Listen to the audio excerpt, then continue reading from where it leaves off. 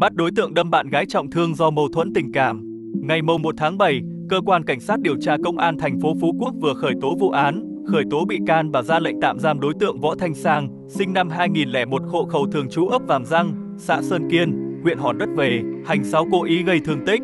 Trước đó, khoảng 23 giờ, ngày 18 tháng 5 Lộc Thị En, sinh năm 2003 là bạn gái của Sang cùng nhóm bạn của mình đến nhà trọ của Sang ở ấp Búng Gội, xã Cửa Dương, thành phố Phú Quốc để giải quyết chuyện tình cảm giữa En và Sang.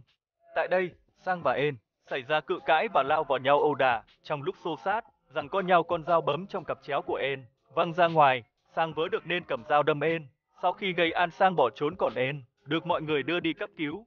Biết không thể thoát tội nên ngày 20 tháng 5, Sang đã đến cơ quan công an đầu thú và thừa nhận toàn bộ hành sáu phạm tội của mình.